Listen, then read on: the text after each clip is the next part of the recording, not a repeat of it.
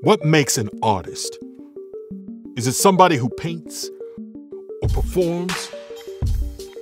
Somebody who makes things or who makes plays? By definition, it's a person who is adept at a particular skill. So, yes, an artist is all of these things, but also it's somebody who brings something to our attention. Somebody who shows us something in a different way.